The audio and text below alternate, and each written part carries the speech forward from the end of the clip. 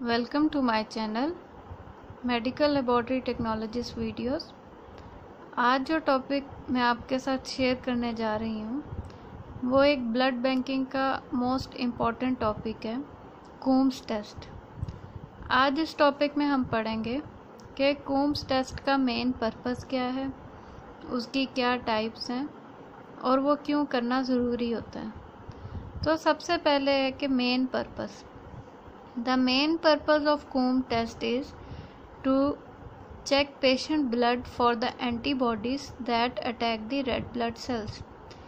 जो मेन मकसद होता है कोम टेस्ट का, वो ये होता है कि हम पेशेंट के ब्लड में एंटीबॉडीज़ को चेक करें जो कि रेड ब्लड सेल्स को अटैक करती हैं और वो कौन सी एंटीबॉडीज़ होंगी वो होंगी ऑटो एंटीबॉडीज़ यानी कि मेन पर्पस जो कोम टेस्ट का है वो ऑटो एंटीबॉडीज़ को डिटेक्ट करना है जो कि रेड ब्लड सेल्स को अटैक करती हैं। ऑटो एंटीबॉडीज़ क्या होती हैं ये आगे हम फर्दर लेक्चर में डिटेल में पढ़ेंगे।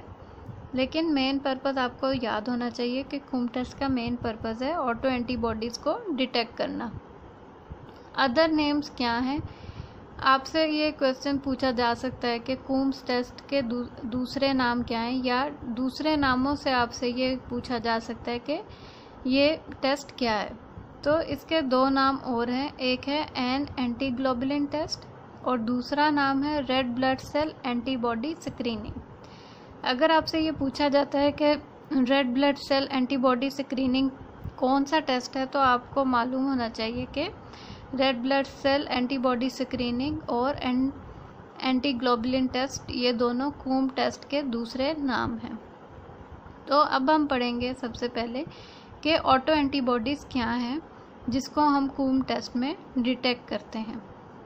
What is and auto antibodies auto antibodies क्या होती हैं? Antibodies are part of our immune system they fight against infections like bacterial and viral but in some conditions, they attack our normal red blood cells like immune hemolytic anemia. These type of antibodies are called autoantibodies and Coombs test main purpose is to detect these antibodies.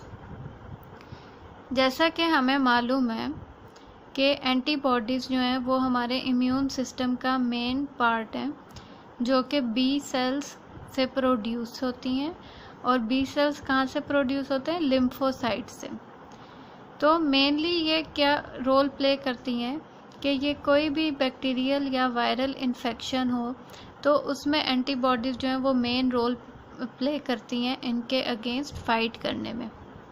लेकिन कई ऐसी condition होती हैं, जैसे कि immune haemolytic anaemia. उस condition में क्या होगा कि जो एंटीबॉडी है वो डिटेक्ट नहीं करती नॉर्मल एंटीजन को। और एबनॉर्मल यानी कि वायरल या बैक्टीरियल एंटीजन को और नॉर्मल एंटीजन को वो डिफ्रेंशिएट नहीं कर पाती। तो जब वो डिफ्रेंशिएट नहीं कर पाती तो वो फिर नॉर्मल एंटीबॉ एंटीजन्स पे अटैक करती है। और जैसा कि हमें मालूम है कि एंटीजन जैसे कि एक मैंने डायग्राम भी बनाई है जिसमें नॉर्मल रेड ब्लड सेल है और जो ब्लू कलर है, वो एंटीजन्स हैं, जो कि नॉर्मल एंटीजन है, जो रेड ब्लड सेल के साथ अटैच हैं। नॉर्मल एंटीजन कौन से होते हैं? जैसा कि A B O blood group system या आर एच एंटीजन या ए बी एंटीजन जो है, ये नॉर्मल एंटीजन है, जो कि हर बॉडी में प्रेजेंट होते हैं और ये रेड ब्लड सेल के साथ अटैच होते हैं। लेकिन जो ग्रीन कलर में दिखाया गया है, वो एंटीबॉडीज़ हैं, लेकिन वो मैंने ऑटो एंटीबॉडीज़ शो की हैं। क्योंकि कई ऐसी कंडीशन जैसे कि मैंने बताया इम्यून हेमोलिटिक एनीमिया तो ऐसी कंडीशन में जो है, वो एंटीबॉडीज़ जो है, वो उन्हें मालूम नहीं पड़ता कि ये नॉर्मल एंटीजन है या कोई बैक्टीरियल है या वायरल एंटीजन है। तो वो नॉर्मल एंटीजन पे अटैक कर देती हैं, जिसकी वजह से रेड सेल की लाइस लाइसिस शुरू हो जाएगी, यानी कि रेड सेल का ब्रेकडाउन शुरू हो जाएगा और वो हिमोलिटिक अनीमिया कहलाएगा। लेकिन वो इम्यून हिमोलिटिक एनीमिया क्यों कहलाएगा? क्योंकि इसमें इम्यून सिस्टम की एंटीबॉडीज़ इन्वॉल्व हैं। तो ऐसी एंटीबॉडीज़ को हम ऑटो एंटीबॉडीज़ बोलते हैं। और कोम टेस्ट का मेन पर्पस भी यही है कि इन ऑटो एंटीबॉडीज़ को डिटेक्ट करना। तो अब आपको समझ आ गई होगी कि ऑटो एंटीबॉडीज़ क्या हैं। ऑटो एंटीबॉडीज़ वो एंटीबॉडीज़ की टाइप है जो कि नॉर्मल रेड ब्लड सेल्स को अटैक करती है और वो टारगेट करती है normal blood cell red blood cells को, जिसकी वजह से रेड ब्लड सेल्स का ब्रेकडाउन शुरू होता है और हिमोलिसिस की वजह से एनीमिया हो जाता है। तो मेन पर्पस जो है वो कोम टेस्ट का इन ऑटो एंटीबॉडीज़ को डिटेक्ट करना है। अब हम डिस्कस करेंगे types of Coombs test Coombs test की कितनी टाइप्स हैं या कौन से मेथड हैं जो हम यूज़ करते हैं? तो there are two types of Coombs test दो टाइप्स हैं कोम्स टेस्ट की. फ़र्स्ट है डायरेक्ट कोम टेस्ट जिसको हम डायरेक्ट ए ग्लूटिनेशन टेस्ट भी बोलते हैं, जिसको हम डी ए टी से भी एब्रीवेट करते हैं. तो फ़र्स्ट टाइप है डायरेक्ट कोम टेस्ट या डायरेक्ट ए ग्लूटिनेशन टेस्ट और सेकंड जो है वो है इनडायरेक्ट कोम टेस्ट जिसको हम इनडायरेक्ट एग्लूटिनेशन टेस्ट भी बोलते हैं, जिसको हम आई डी ए टी से एब्रीवेट करते हैं। इन दोनों टाइप्स में जो मेन चीज़ कॉमन दो चीज़ें कॉमन हैं। फ़र्स्ट ये कि इन दोनों मेथड्स में या इन दोनों टाइप्स में मेनली हम क्या डिटेक्ट करते हैं? ऑटो एंटीबॉडीज़ और सेकंड थिंग क्या कॉमन है? कि use of Coombs reagent in दोनों मेथड्स में कूम्स रिएजेंट यूज़ होगा। लेकिन अब हम पढ़ेंगे कि इन दोनों मेथड्स में मेन डिफरेंस क्या है, जिसकी वजह से ये डायरेक्ट या इनडायरेक्ट कूम टेस्ट कहलाते हैं। जैसा कि मैंने आपको बताया कि टाइप्स ऑफ़ कूम्स टेस्ट में मेन चीज़ जो यूज़ होगी, वो है कूम्स रीएजेंट तो बिफोर के हम डिस्कस करें कि टाइप्स क्या हैं उससे पहले ये जानना ज़रूरी है कि कोम्स रिएजेंट क्या है। कोम्स रिएजेंट को डिफरेंट नेम से हम यू, यूज़ करते हैं जिसको हम कोम्स सीरम भी बोलते हैं और इसके अलावा एंटी ग्लोबुलिन रिएजेंट भी बोलते हैं। तो आपको ये मालूम होना चाहिए कि कोम्स रिएजेंट कैसे प्रिपेयर होता है। इसकी एक मैं ब्रीफ सी समरी आपको बताती हूँ।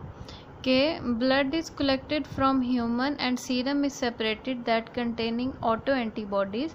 That serum will inject to the animal, mostly the rabbit, and antibodies of that animal will detect that foreign antibodies and will produce its own antibodies against these antibodies. Blood will be collected from that animal and that antibodies will be separated that are produced against foreign antibodies and these antibodies will harvest and preserved as Coombs reagent. इसमें यह बताया गया है कि एक ऐसा human से blood collect करेंगे जिसके अंदर पहले से ही ऑटो एंटीबॉडीज़ प्रोड्यूस होंगी। तो वो उस ब्लड से हम सीरम सेपरेट किया जाएगा क्योंकि सीरम इसलिए सेपरेट करना है कि उस सीरम के अंदर ऑटो एंटीबॉडीज़ मौजूद होंगी। तो वो वाला सीरम जिसके अंदर ऑटो एंटीबॉडीज़ मौजूद हैं वो सीरम जो है वो किसी भी, वो एनिमल को इंजेक्ट किया जाएगा। मोस्टली कुंभ रिएजेंट के लिए रैबिट का यूज़ होता है। तो रैबिट के अंदर वो जब सीरम जाएगा तो रैबिट की जो एंटीबॉडीज़ हैं, वो उस एंटीबॉडीज़ को एज अ फॉरेन यानी कि एक्सटर्नल यानी कि बाहर से आई हुई एंटीबॉडीज़ के तौर पे डिटेक्ट करेंगी। तो वो फिर रैबिट जो है रैबिट का जो सीरम है या रैबिट का जो ब्लड है, वो उन एंटीबॉडीज़ के ख़िलाफ़ जो है, वो अगेंस्ट जो है, वो एंटीबॉडीज़ प्रोड्यूस करेगा। तो अब क्या होगा? अब वो ब्लड जो है, दोबारा रैबिट से अब ब्लड लिया जाएगा और सेपरेट की जाएँगी वो वाली एंटीबॉडीज़ जो कि रैबिट ने प्रोड्यूस की हैं फॉरेन एंटीबॉडीज़ के ख़िलाफ़।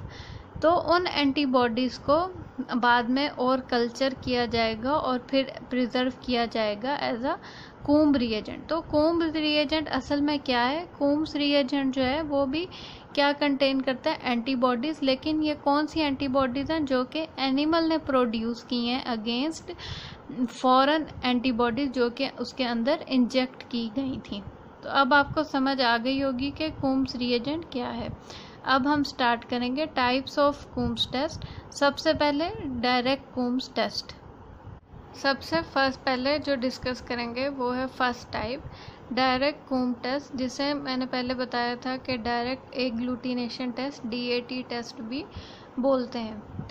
इसमें सबसे पहले मतलब क्या इसका प्रोसीजर है और क्यों इस, कौन सी डिज़ीज़ में हम ये डिटेक्ट करते हैं तो ये डिटेक्ट करते हैं एंटीबॉडीज़ जो कि रेड ब्लड सेल्स के साथ अटैच होती हैं, लेकिन कौन सी डिज़ीज़ में? ऑटो इम्यून हेमोलिटिक एनीमिया जो कि haemolytic disease of new born की कॉमन एग्जांपल है।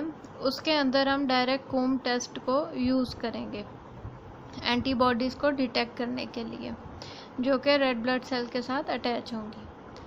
तो इसका प्रोसीजर क्या है? If a patient have immune haemolytic anaemia it means his blood containing auto antibodies blood will be collected from that patient and will put into the test tube और beaker that blood containing are containing auto antibodies then Coomb reagent will add into that blood Autoantibodies will attach to the antibodies of Coombs reagent and will cause agglutination at the bottom of tube इसका procedure ये है कि वो patient जिसके अंदर immune haemolytic anaemia है, उसका blood लिया जाएगा और वो ब्लड क्या है, उस ब्लड में क्या है? ज़ाहिर है उस ब्लड में रेड ब्लड सेल्स हैं जिनके साथ ऑटो एंटीबॉडीज़ पहले से ही अटैच हैं।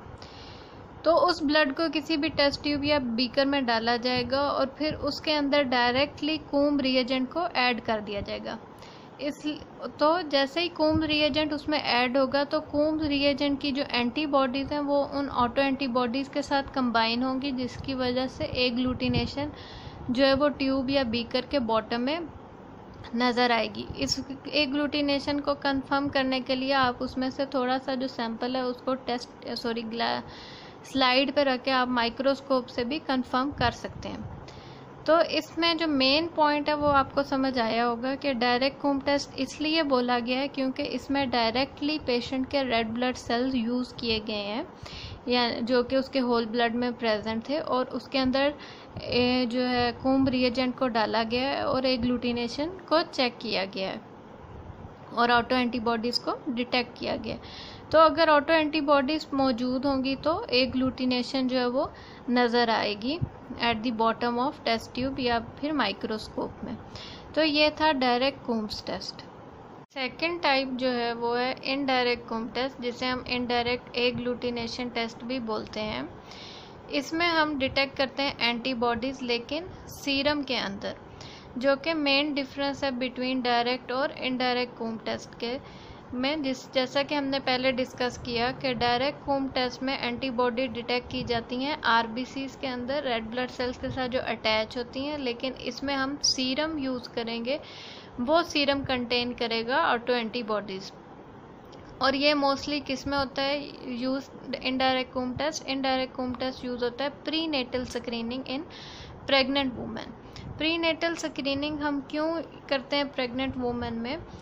या, क्योंकि वो वुमेन या वो लेडीज़ जो आर एच नेगेटिव होती हैं, अगर कोई फीमेल आर एच नेगेटिव है और अगर उसके, वो प्रेग्नेंट और जो फीटस है वो आर एच पॉजिटिव है तो क्या होता है कि कई दफ़ा जो फ़र्स्ट अगर फ़र्स्ट प्रेगनेंसी में, ये मोस्टली होता है कि फ़र्स्ट प्रेगनेंसी में डिलीवरी के टाइम पे, जिसे हम पार्चुरेशन भी बोलते हैं कि at the time of parturition क्या होता है कि जो फीटल ब्लड होता है, वो मदर के ब्लड जिसे हम मेटरनल ब्लड बोलते हैं, उसके साथ कांटेक्ट करता है, जो कि एक बहुत माइनर लेवल का कांटेक्ट होता है। लेकिन उसमें भी क्या होता है कि जो मेटरनल ब्लड है, वो उस फीटल ब्लड के ख़िलाफ़ जो है या अगेंस्ट जो है, वो एंटी आर एच एंटीबॉडीज़ जो है, वो डिवेलप कर लेता है। तो क्या होता है कि जब सेकंड प्रेगनेंसी होती है और अगर सेम केस हो, यानी कि फीटस जो है वो दोबारा आर एच पॉजिटिव ही हो तो वो क्या होता है कि जो मेटरनल ब्लड होता है वो प्लेसेंटा के थ्रू फीटस में एंटर हो जाता है और जिसकी वजह से वो फीटस के आर को लाइज कर देता है, क्योंकि वो एंटी आर एच एंटीबॉडीज़ जो होती हैं वो उसके अगेंस्ट डिवेलप हुई होती हैं।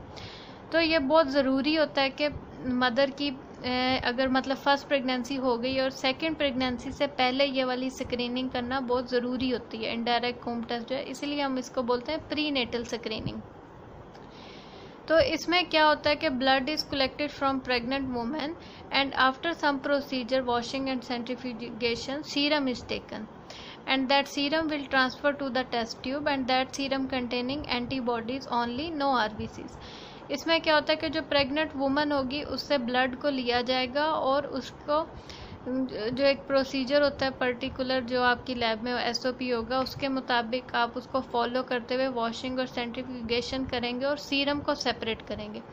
अब वो सीरम जो है, वो सीरम जो है, वो सिर्फ़ और सिर्फ़ जो है, वो ऑटो एंटीबॉडीज़ को कंटेन करेगा, कोई आरबीसी उसमें अटैच नहीं होगा। तो अब जब आरबीसी नहीं है तो हमें एक्सटर्नली यानी कि बाहर से आर को लेना होगा। जैसा कि हमने पहले पढ़ा था कि मदर के आर जो हैं, वो आर एच नेगेटिव होंगे, इसलिए फिर, लेकिन हमें आर एच पॉजिटिव ब्लड को हम एक्सटर्नली इंट्रोड्यूस कराएँगे। तो कोई भी ऐसा पर्सन जिसका आर एच पॉजिटिव ब्लड होगा, उसके आर एच पॉजिटिव ब्लड को उस टेस्ट ट्यूब में इंट्रोड्यूस कराया जाएगा, और फिर वो जो ऑटो एंटीबॉडीज़ हैं, वो उन आर के साथ जो है, वो आर की एंटीबॉडीज़ के साथ जो है, वो अटैच हो जाएँगी। अब नेक्स्ट स्टेप क्या होगा? वही स्टेप कोम्स रिएजेंट ऐड किया जाएगा। ये स्टेप सिमिलर है Coombs sorry direct Coombs test के साथ सेम वही स्टेप है। इसमें क्या होगा कि वो जो एंटीबॉडीज़ हैं, वो कोम्स रिएजेंट की एंटीबॉडीज़ के साथ कंबाइन होंगी और जैसे ही वो अटैच होंगी तो एक ग्लूटिनेशन हो जाएगी at the bottom of surface तो इसमें डायरेक्ट कोम टेस्ट और इनडायरेक्ट कोम टेस्ट का आपको जो मेन डिफरेंस है, वो ये मालूम होना चाहिए कि डायरेक्ट कोम टेस्ट जो है, वो directly R B C use होते हैं और जो इनडायरेक्ट कोम टेस्ट है, उसमें सीरम यूज़ होता है। लेकिन दोनों में क्या डिटेक्ट हो रहा है? ऑटो एंटीबॉडीज़ और जो डायरेक्ट कूम टेस्ट है, वो haemolytic disease of new born में डिटेक्ट को डिटेक्ट करने के लिए यूज़ होता है, लेकिन जो इनडायरेक्ट कूम टेस्ट है, वो जो है वो prenatal screening in pregnant women के लिए यूज़ होता है। और डायरेक्ट कूम टेस्ट में डायरेक्ट आर यूज़ कर रहे हैं, और इनडायरेक्ट कूम टेस्ट में सीरम यूज़ हो रहा है, और एक्सटर्नली जो है वो आर को इंट्रोड्यूस कराया जाएगा, और वो आर जो कि आर पॉजिटिव होंगे। तो ये थे मेन डिफरेंस और पूरा लेक्चर कोम्स टेस्ट के बारे में कि कोम्स टेस्ट का क्या पर्पस है कोम्स रिएजेंट क्या है और कोम्स टेस्ट की क्या टाइप्स हैं। आई होप कि आपको ये लेक्चर पसंद आया होगा और ज़रूर आपने इससे कुछ ना कुछ लर्न किया होगा। Thank you all of you